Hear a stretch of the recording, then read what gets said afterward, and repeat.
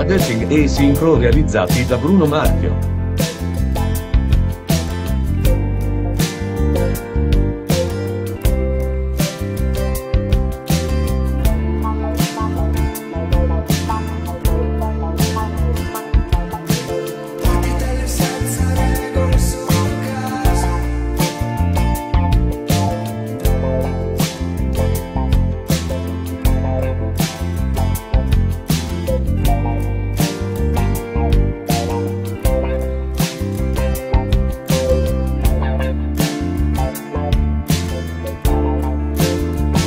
headshot